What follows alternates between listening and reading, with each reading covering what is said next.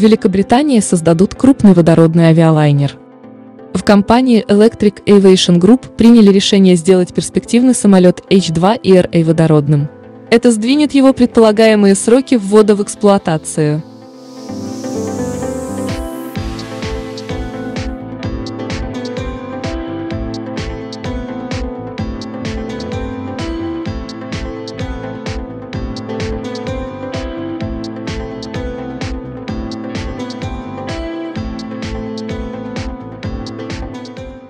Британская компания Electric Aviation Group выбрала для своего будущего пассажирского самолета H2 ER силовую установку на основе водородного топливного элемента.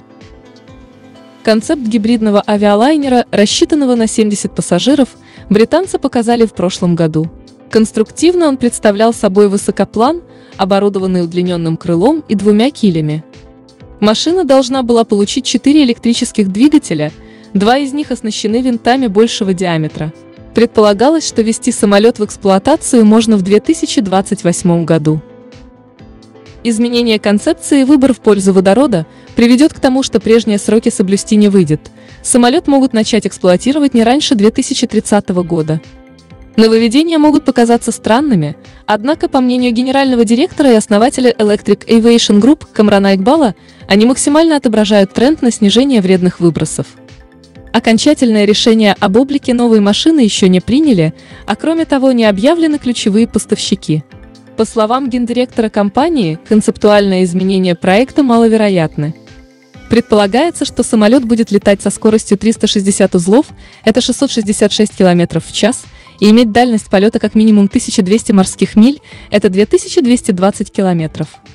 О создании водородных крылатых машин в последние годы все активнее говорят на Западе.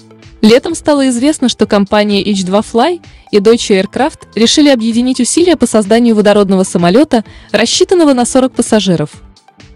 Первый полет демонстратора технологий ожидают примерно в середине десятилетия, а коммерческий авиалайнер хотят получить к 2030-му. Предполагается, что самолет получит дальность полета более 1800 километров. Крейсерская скорость составит 520 километров в час. У создателей большой опыт в этом деле – Ранее H2Fly создала водородную крылатую машину Hi-4, в основе которой электрический самолет Pipistrel Taurus Electro G4. Отметим также, что ранее внимание общественности привлекла демонстрация компании Airbus концептов водородных авиалайнеров, выпуск которых могут начать примерно через 15 лет.